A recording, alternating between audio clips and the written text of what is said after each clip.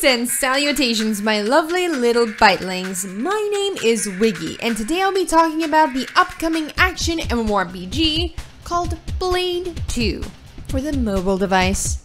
Now, if you can't tell already, the graphics for this MMORPG are absolutely insane. I was legit caught off guard when I first saw this, considering there are PC MMORPGs coming out in 2017 and even some of them coming out in 2018 with worse graphics and combat systems. So, I was I was a little shocked. But as we're all well aware of, amazing graphics don't really keep you playing in an MMORPG. It's the gameplay. So how does Blade 2 fare in the gameplay department? Well, it's an instance-based action MMORPG, with combat and story being the main focus around the game. The combat found within Blade 2 is flashy, fast, visually impressive, and just generally well done.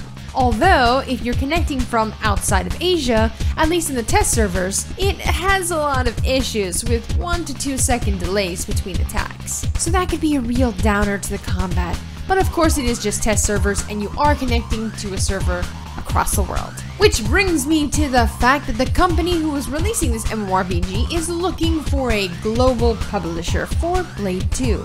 So once it's finally released in China, a few months later, it could be released globally meaning we could have this game, this glorious looking game, in English. And that's an actual possibility. Of course, the Chinese release date for Blade 2 is set within 2017, but with no actual date given, which means it could be out this year, or the next year, or whenever they feel like it. I am personally hoping it's this year, but I wouldn't exactly get my hopes up. Now, there are currently four classes in Blade 2 which are of course gender locked because I mean what instance based action MMORPG doesn't seem to have gender locks these days? The classes in Blade 2 are split between two females and two males. Male classes being a warrior class using two swords and heavy armor, and the fist fighter which wears practically no armor and uses his fists to fight. The female classes being an assassin or rogue, which is daggers and skimpily clad, and of course the mage, which uses chakrams as weapons, also skimpily clad. Generally, this is everything I can say at the moment regarding Blade 2. I personally am looking forward to it as it looks amazing, like oh my god.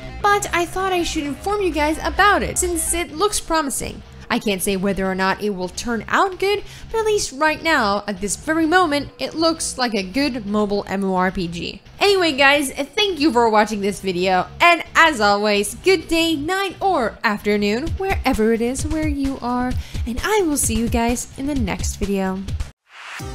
We fell out of love like shooting stars came crashing down, and we're building